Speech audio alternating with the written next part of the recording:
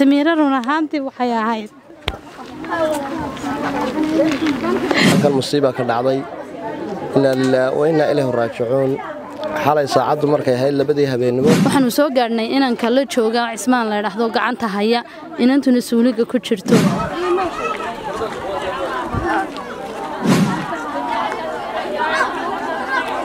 Daawadayaal halkan hadda ku sugan waa hoyga simir maxamed cabdiraxmaan oo ahayd hooyo xaamilo ah sidoo kalena dhashay lix carruura allah u naxariistay xalay labadii habeennimo ayaa waxaa la dumay halkan oo ah suuliyi ku yaalla hoygeeda.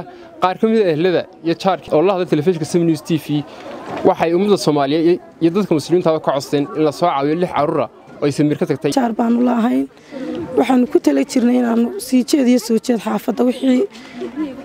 Waxaan ku dhaanu wax iska gurno oona addoonta ama guriga maxay tahay aanu carruurtaa wax ugu siinaanu ku tala jirnay marka addoonni aad iskaga dayacan bay ahayd odayga bilaa camal buu ka ahaa wax camala waxbana kuma waagrinay wax alle wuxuu u hayeyna may jirin. Dee masiibadaasaa loo soo diray farriin noocee dadka loo dirsaa. farriin waxaan u dirayaa carruurtaa yaryar iyo ninkaa bilaa camalkaa wixii awoodaan. Wixii ay u awoodi karaan inaanay ka hagranin walaa. Dhulkusaa u yaalla. Saas waxaan kudhi hooyo maanta halkaa ku duldhaca carruurta yarada way dayacantay isaga waa bilaa camal wuu isla hadlayaa. Camaliyadii ay masiibadaasina ugu biirtay ummadda islaamka waxaan ka codsanayaa carruurtaa yaryar iyo ninkaa inoo isloo soo eego. Waxaanu soo gaadhnay inanka la jooga cismaan la ydhaahdo gacanta haya inantuna suuliga ku jirto. Kadib waxaanu u gurmanay saldhigga xaafadda taliya ku-xigeenka saldhigga xaafadda saleebaan. Ayaa doonay booyadda saleebaan baa booyadda keenay. Booyaddu biyahay ka dhurtay.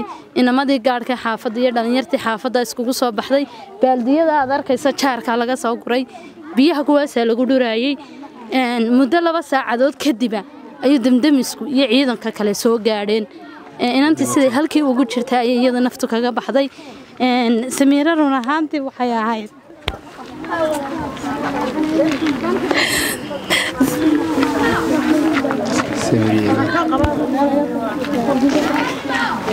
samiiro run ahaantii waxay ahayd qof walaahi muslina oo dadnimo leh oo dhaqan leh. Miskiinna way ahayd danta ku haysayna meesha dee camalla'aan ninku uu haysay ayaa ku haysay.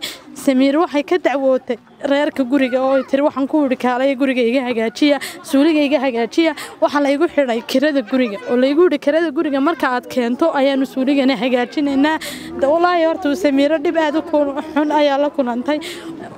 Madaxweynaha iyo muslimiinta iyo beesha caalamka waxaanu ka codsanaynaa inay maatidaa yaryar ee dayacan ay hoos u eegaan oo wax loo qabto. Maanta samiir iyadu ducuun bay u baahan tahay oo teedii xaqa ahayd bay tagtay. Laakiinse cismaan iyo lixdaa ciyaal inay xukuumadda iyo dadka afka islaamka ku hadlaaba ay hoos u eegaan inantaasoo tiri maalmahanba suurigii waa waan ka boqonayaa wuu qarqarxay. Markaa waan ka boqonayaa suuriyada xaafadaha gasha ayaan ogaa. Dowla haddii ku odhan xaafaddiiga hagaajiyana waxay ka boqotay lacagtii lagu lahaa in lagu yidhaahdo keen ha lagaaga hagaajiyey. Dee dadkana waa tan ku tiri markii aan islaantii ku yidhi hagaaji waxay igu tiri islaantii lacagtii soo bixi. Dee walaaladoon waxay iska dhib dhibaataysanoo waa waxna haysan dee cid waxu tarsoo kalena aan haysan jaarkaasaanu hahay dee walaal may odhan jirin waan qatanahay wax ii kariya innaa lilaahi wa innaa ilayhi raajicuun. Walaal waa arkaysaan dee halkaa wax ka dhacday musiibo. Musiibo foolxun baa ka dhacday. Waana dee xaqoo waxa weeye qadar ilaahay qadarka ilaahay cidina ma dhaafi karto. Marka waxun baa inala gudban maaragtay. Dee meesha maatidii iyo ma garanaysaa carruurtii ay ka tag baxday qofkaa dumari in wixii la awoodi karo muslimiintu ay caawiyaan. Anigu waxa xooga kama hayo oo maaragtay xaaladdu sideed wax xooga kama hayo balse dee maaragtay geerida umaan la soo kulmay saaka marka dee muslimiinta waxaan maaragtay codsanaynaa wixii muxsiniinaha ilaahay subxaana wa tacaala hortiisa wax geysanaya inay maaragtay masiibadaas carruurtaa maaragtay masiibada ku dhacday inay caawiyaan. Suuligaasaa la dumay.